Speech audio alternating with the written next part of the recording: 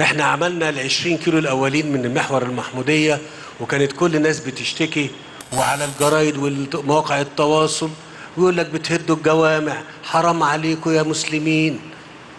يا سيدي هنرجع الجوامع تاني وهنرجع الكنائس تاني بس هنرجعها صح.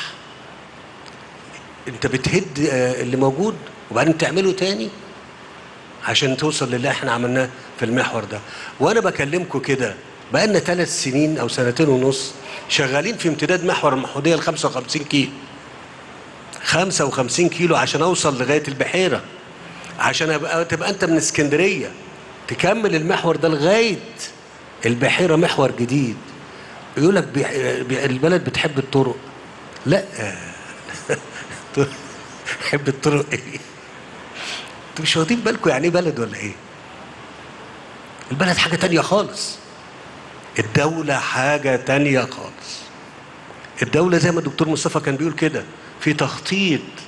التخطيط ده بيقوم بيه علماء ودكاترة جامعة ودكاترة في الوزارات المتخصصة أو المعنية وبتحط تصور لو قدرت الدولة تعمله خير. ما قدرتش بيبقى خطط على ورق. ولا أنا بقول كلام طيب وأنا بعمل بقى عشان أكمل موضوع محور المحمودية ده اللي أنا بقول كلام أنتوا عايشينه معانا. أنا بكلم الناس بتوع اسكندرية واللواء هشام أمنة موجود كان محافظ البحيرة. وجي قال لي يا فندم أنا عشان أشيل الناس اللي موجودة على محور المحمودية في الجزء بتاع البحيرة عندي أنا عايز 800 مليون جنيه. صح كده؟ مش كده يا هشام؟ عايز كام؟ ده من ثلاث سنين. صح يا دكتور؟ الحكومة وفرت ال 800 مليون. وشلنا كل التعديات اللي كان أنا بقول إيه؟ التعديات.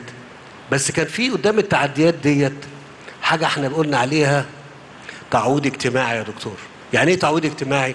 ما قلناش إن اللي تعدى ده الأرض مش أرضه وعلى حرم الترعة ولا ولا قلنا لا لأن إحنا ما نقدرش نسيب الناس دي بالطريقة. فاديناهم شيء من التعويض مش كده يا هشام؟ عشان إحنا بقالنا ثلاث سنين بنعمل 55 كيلو.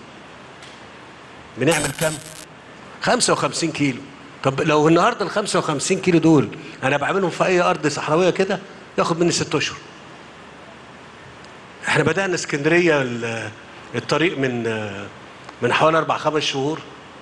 اللي إن شاء الله قبل العيد هيكون مفتتح الجنب ال- اللي هو الوصلة اللي هي من القاهرة لغاية اسكندرية اللي هو آه، اللي رايح 170 كيلو و20 كيلو من اللي راجع.